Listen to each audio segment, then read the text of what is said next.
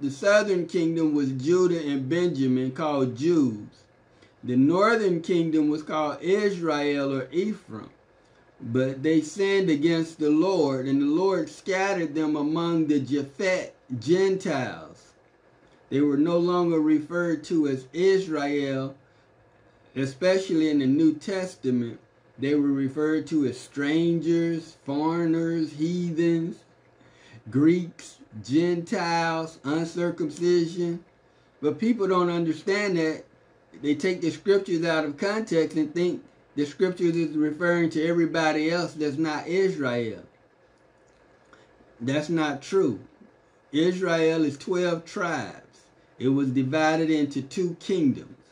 So we're going to pick it up in First Corinthians chapter 1, beginning at verse 21. You got your scriptures? First Corinthians chapter